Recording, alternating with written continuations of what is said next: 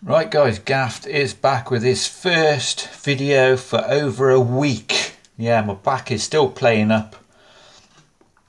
But just before I go any further, if you're new to this channel, or even if you're not new to this channel, hit subscribe button guys. There's a lot of videos I watch on YouTube or I'm not subscribed to, so if you could just hit the subscribe button, that'd be awesome. Make sure post notifications are on so you don't miss anything and this is the reveal to the any card at any number double prediction live performance you will have seen yesterday. Um, it's a fantastic little trick. It's a unbelievable looking trick, but it is so easy to do. You are going to need one thing, and that is a top of the box gaff. There will be a link in the comments and in description to a little giveaway I've got going where you can win yourself or you need to build your own top of the box gaff. So you are going to need one of these and a regular deck. I'm going to pull the cellophane off for now just so that it looks the same. You haven't got the shine of the cellophane. And you're going to start the trick with the top of the box gaff on the top of the box. One thing I would suggest, I've got my top of the box gaff covered it with sticky Okay, that's my daughter. Sticky white labels. If you had another bit of the box and you could cover that up with another box, that would be awesome so it would look completely invisible inside. The magnets are not visible inside. So you're going to start the trick.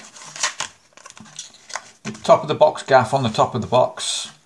Right, let me just show you something incredible. You're going to open up the box and you're going to give the cards to the spectator to shuffle. So they're going to shuffle these cards. I know it's COVID and we cannot um, make contact with people, but if you've got a brother, your parents or whatever, you might be able to do this, your, your fiance, your boyfriend, whatever.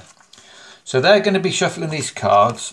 While they're shuffling the cards, just do the box back up and hold the box. You can hold it whichever way around you want. It's good holding it this way so they can see that it's the top of the box. There's nothing suspicious going on. And at some point they're going to finish shuffling the cards. You're going to take the cards back and you're going to put the top of the box or the box on top of the deck and you're going to say look I just want to show you that the box is in fact empty. As you're showing them the box is empty you're going to strip the top of the box gaff off. You're just going to slide it off but it'll be invisible under cover and then you can hand the box to the spectator to hold. So you've there's nothing suspicious going on. That's why it will be better if the magnets are covered with another bit of the cardboard from a box. All you're going to do now is turn the deck over and say you're going to make a couple of predictions, but all you're going to do is look for the two cards that are directly under the top of the box gaff. You're just going to fetch out the other black king and the other black 10. So you're just going to go through and you're going to find the other black king and the other black 10. You're going to pull these two cards out. Obviously it's going to be like this to the spectator. They, they will not see the card you're pulling out and they will not notice the top of the box gaff because it looks like the back of a playing card. You're going to take these two cards out and put them into the box. They can hold on to the box still if they want.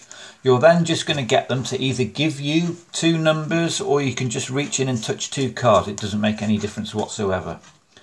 But just a little note, you do need to make sure that the top of the box gaff is the right orientation. Because sometimes when you're fiddling around with the cards, you might turn the deck around, but just make sure this is still round the right way.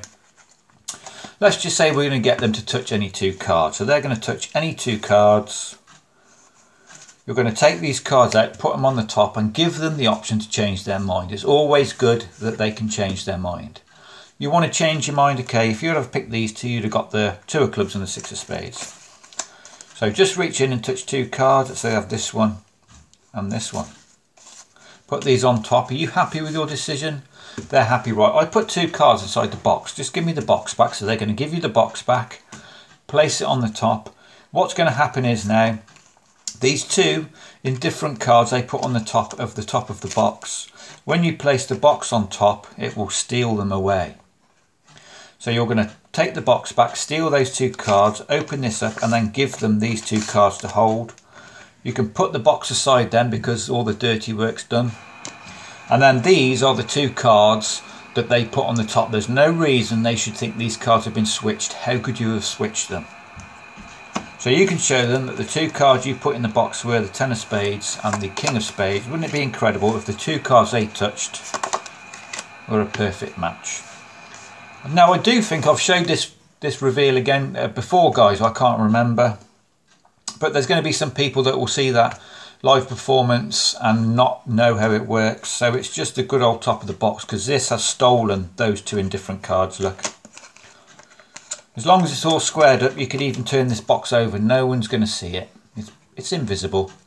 So there's another trick for you, Magic Corner. So comment, subscribe, like guys. Thank you all for your um, comments of get well soon gaffer. I'm feeling a lot better. It's Saturday today. This is the first day which I've been out of bed since 9 o'clock and I haven't been back in bed yet with my back. So it's feeling a lot better. Oh, look at that spread. I would also um, like it, guys, if you could share my videos.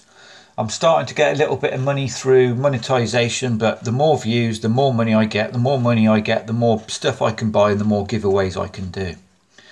So uh, comment, subscribe, like guys, and come back tomorrow for possibly a rerun of an old card trick. Cheers.